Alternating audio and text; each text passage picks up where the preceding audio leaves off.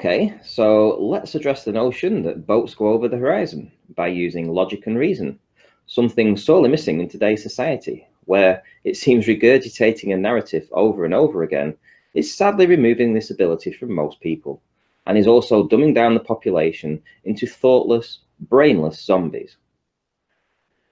So let's begin.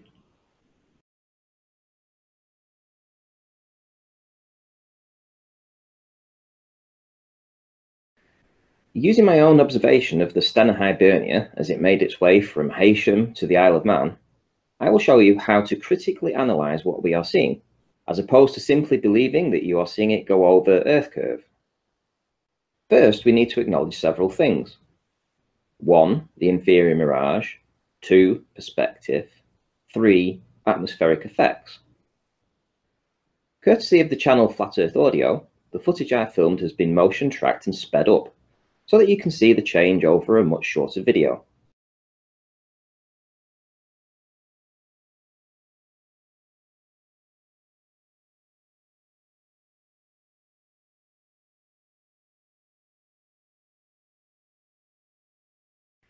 Okay, so you've seen the video, and now we need to go through the process of understanding what we saw by means of a scientific breakdown of the factors in play.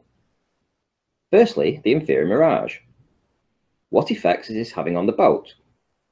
Well, to get an answer to that, you need to trawl through the data at hand in other videos uploaded on my channel.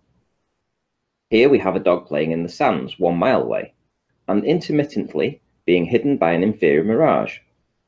Certainly not by Earth curve.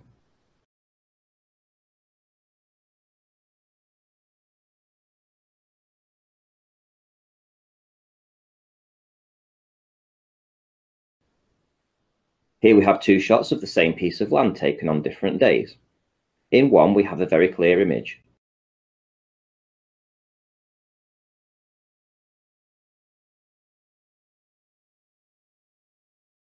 And on the other, an inferior mirage.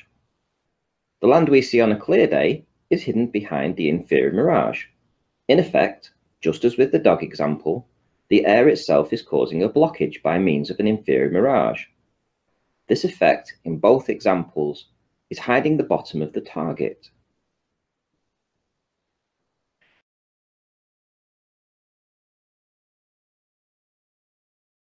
Now, using logic and reason, knowing that the air is the medium in which the inferior mirage manifests itself, let's apply that same thought process to the boat. As the boat gets further away, the inferior mirage starts to block out the bottom of the boat essentially the hull should be seen. And were it not for the inferior mirage, it would be, just as with the video of the land you just watched. Does this thought process resonate with you? Do you believe the dog was bouncing in and out of Earth curve? Or that the land that we saw on a clear day was being loomed up by a process of refraction over the curvature of the Earth? Isn't it more logical to think that the narrow viewing angle contributes to creating the effect of an inferior mirage, and that that blockage is in the air, and this is the cause of the lower part of the boat being hidden? Next, let's take a look at perspective. Things get smaller the further away they go.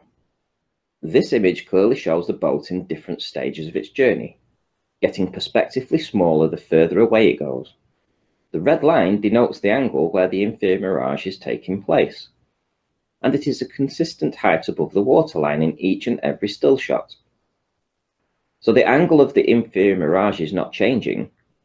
However, the boat certainly is getting further away and thus smaller and smaller to the point where half of the boat is now completely hidden behind that inferior mirage.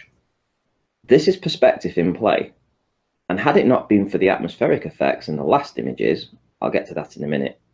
Then we would have seen the boat get so small that all of it would have been hidden behind that air layer that is causing the inferior mirage. Again, this goes without question that critical analysis of these observations must always include perspective and must also include the ability to ask questions and then apply logic and reason to your analysis. Simply parroting a narrative will no longer cut it. This boat is not going over Earth curve. Lastly, let's look at the atmospheric effects. Well, in the last few frames of the video, we see the boat vanish. The camera is no longer able to see it. In this exact case, did the boat disappear due to it going over the curve? Or was it due to the density of the atmosphere making the boat simply blend into the background? Let's take a critical look at the evidence. Here we have one of those last frames where the boat essentially is invisible. Now let's ramp up the colour and contrast and see if anything is still to be seen. You guessed it, the boat was indeed still there. You can clearly make out the top of the boat and an inferior mirage below it. Yes, the atmosphere is one of the main reasons why we cannot see for hundreds of miles at sea level. So in this entire video, did we actually see a boat go over the curvature of the Earth? Well, let's recap. The bottom of the dog, hidden by the inferior mirage. The bottom of the land, hidden by inferior mirage. The boat has an inferior mirage. What should be the next logical statement? I'll just say it. The bottom of the boat is hidden by the inferior mirage. Perspective. The boat is getting smaller as it goes further away. This perspective view of the boat brings the angle with which the inferior mirage starts much higher up the boat. This really is easy to understand when you apply logic and reason. Atmospheric effects. Yes, we cannot see through infinite amounts of atmosphere at sea level. It will eventually block everything out. Logic. I hope this demonstration has helped you to understand that the only people applying logic and reason in a scientific way right now, when it comes to the shape of the Earth, is flat earthers. To a globalist, this boat video was proof the boat went over a curve. Yet to the scientist in all of us, with some critical thinking, we can come to the very real conclusion that the Earth is flat and that no boat ever went over the curve of the Earth. Till next time, Ranty out.